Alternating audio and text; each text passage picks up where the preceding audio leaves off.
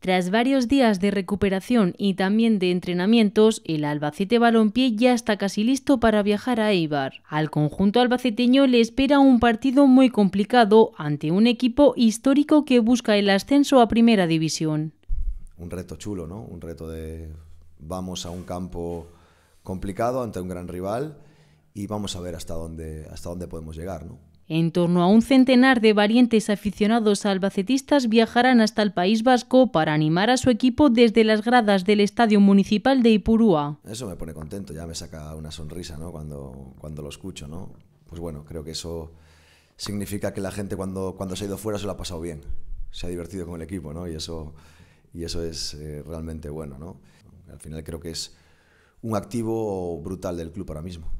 Un estadio de Iporúa con unas dimensiones características que pueden perjudicar al Alba. Ellos están más adaptados porque, porque son un par de metros, pero al final es un rectángulo, césped que va a estar espectacular, dos porterías, hay que hacer goles.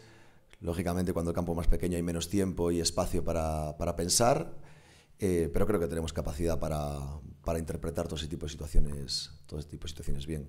Es evidente que a nivel de duelos, a nivel de contactos, va a haber más contactos que en otro tipo de partidos por la por las dimensiones. Además es un equipo que, que tiene un ritmo de presión muy alto, que, que te roba total, todo el rato tiempo y espacio.